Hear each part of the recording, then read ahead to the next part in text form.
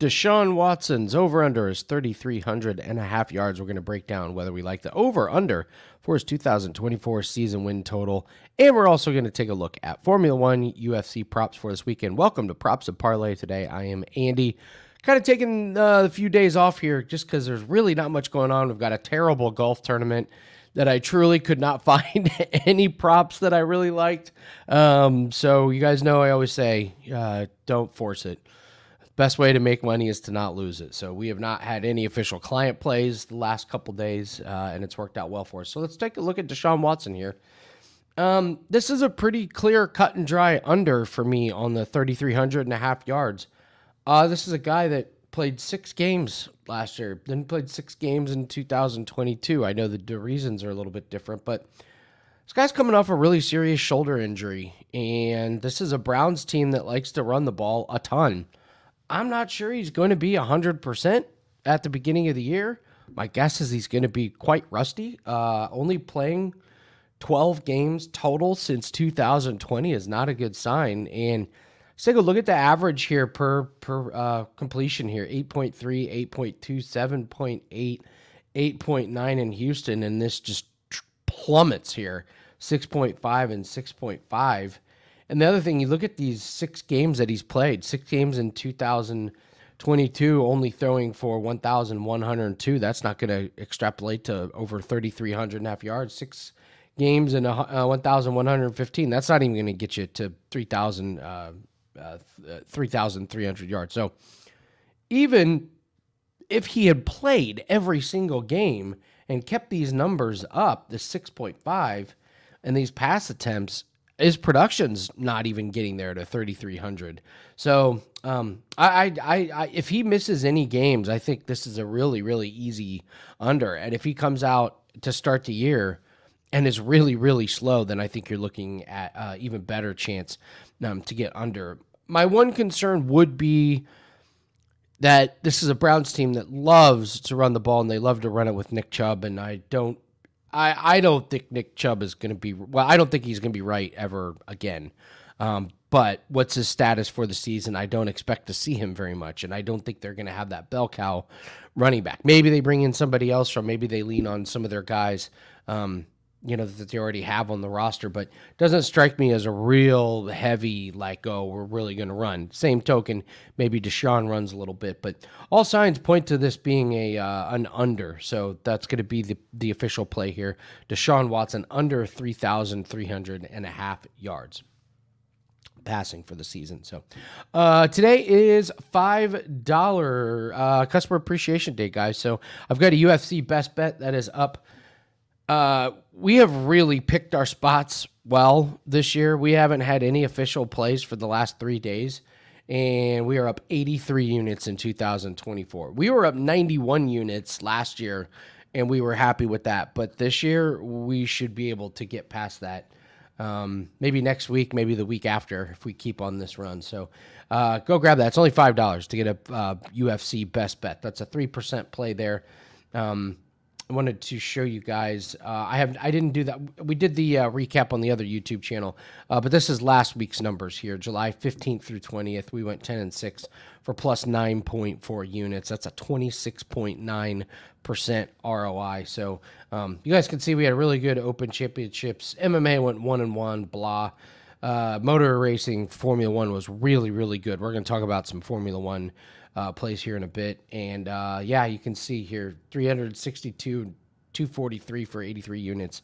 Um, for the year. So really, really happy with that. So we've got a five dollar UFC customer appreciation play that is up right now, and we also have our five percent uh, play of the week. If you have not gotten that, guys, lock it in. We hit it again last week. I sounded like the guy from Die Hard. Hit it again. Hit it again. Bring in the car. Uh, cross sport parlays plays of the week come to nine and two. Shout out if you got that uh, that reference. Uh, so yeah, nine and two in the last eleven weeks on our official play of the week, and really what we've been doing is just kind of building our week around our favorite cross sport parlay of the week, and kind of making the plays go uh, uh, just around there. And it's just been really really well. Uh, this UFC play could not be more excited about this one. Uh, they let us know on Sunday that we are going to be doing a cross board or a, uh, a customer appreciation five dollar play, and I was like, I know what play I'm using on that one. So that's UFC play. Grab that. Andy Lang, wagertalk.com. We're looking to add to the 83 units for this this year. So, all right, let's go take a look at. Let's do some props here for the um, for the UFC. UFC 304 here. We can look here. Um, Jim and I, I've already done the uh, breakdown video on the other YouTube channel. We will do it again after weigh-ins in case there's any issues. I know they've moved some of the fights around in the order, so we'll wait until after weigh-ins see if there's any any more issues, and then we'll uh, put the preview video for all the official fights. Um, the Sean Bannon and Alice Ardelean. Good lord, Alice Ardelean is basically an adult entertainer on her OnlyFans and her uh, Instagram. Uh, I can't do anything with this fight. I would I would lean to the over, but there's too many unknowns. Sean Bannon's terrible. Alice Ardelean's coming. She's got she got this fight because she's an influencer. She's got over half a million followers on Instagram, and her OnlyFans is um, explicit. Um, Parkin and Brzeski, I would lean over two and a half. My worry is Brzeski's complete lack of cardio. Um, he I, he's going to gas in the second round. Um, I would lean the over because Mick Parkin is three and zero oh in the UFC. All three of his wins have been uh, have been by decision. So maybe you might look at Mick Parkin by decision. He's minus two ninety. That um, but I, I, I lean the overs because I think Parkin wears him down, and we haven't seen Parkin finish him uh, finish anybody in the UFC yet. So Patterson and Crosby, this under one and a half is minus two hundred. So that's way too juicy. I would lean Patterson inside the distance, maybe. Um, Kiefer Crosby's pretty terrible. Um, you're not taking the plus three and a half. Um, Patterson's the play. Can't really get there on any props. Mokaev and Kape, if you think Mokaev is going to win, and then this over two and a half at minus 210 is a gift. Mokaev does no damage on the ground, like none. Um, Mokaev is young guy. He's he's undefeated, yet he's been losing some of these fights until he gets the random finish. Now, those were against guys that I don't think are as good as Kape. On the feet, it's Kape all day. If it stays on the feet and they say they make a rule like no grappling, no wrestling, Kape probably wins by knockout. My guess is Mokaev gets this on the ground um, and kind of wears down Kape, and it ends up kind of being a boring decision. So I might lean over there. Oban Elliott and Preston Parsons no opinion on props here. I think Preston Parsons wins. I think minus 142 is a pretty good one. Um, Bukauskas and Prachnio lean you over again on that one. Hadley and Loughran, you're definitely taking overs in this one. Jake Hadley and Caolan Loughran, neither of them have been finished in their pro or amateur career. Out of all their losses, they've all been by decision. Not one of these guys has been fission, has been finished. Hadley's not going to finish Loughran. Loughran's got a granite head. His head's massive and it's made of. I'm I'm convinced it's made of stone. Um, Hadley, this is do or die. Um, but I, I Hadley's probably going to try and wrestle. I don't think he can win a striking match, but uh, I think both guys are tough enough to go the distance. So, McCann in Brasil, I've talked about this one. Under two and a half at plus money is crazy to me. Molly McCann's last five fights have ended in the first round she's going to push forward. I don't. I think Brasil. The moment's going to be too big. McCann has been submitted with arm bars. She sub, she won by an armbar last time. Regardless, I think Molly McCann runs across the ring, pushes the pressure, and this is a this ends up being another finish um, in a Molly McCann fight. Plus money's crazy when you have Molly who is finishing these fights in the first round. Uh, Nathaniel Wood and Pineda.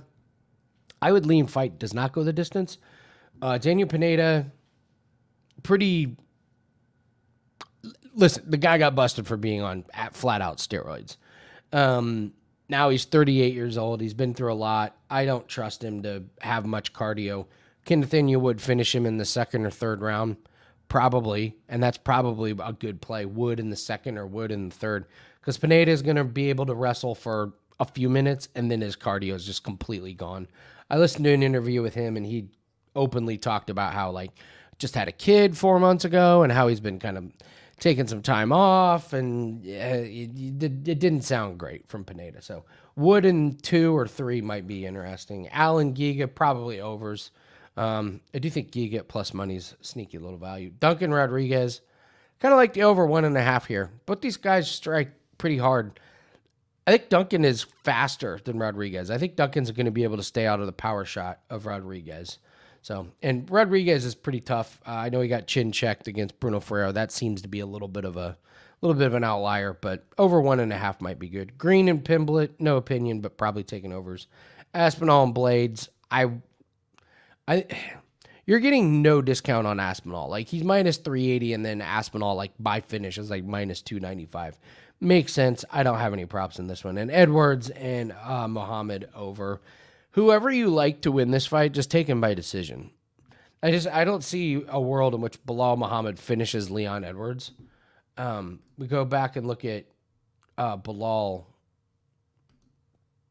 We look at some. We look at his fights here, and it's like okay, Gilbert Burns, that goes decision. Brady, it was a really nice win, but Leon Edwards isn't going to stand there and take all those punches like Brady did. And then you just go back, decision, decision, decision. This was just the eye poke, decision, decision. So you, you look in Muhammad fights, they just go the distance. He's going to throw a little bit more volume than Leon Edwards, I think, but I think Edwards' strikes are going to be a little bit more – a little bit more effective and maybe do a little bit more damage. But again, decision, decision.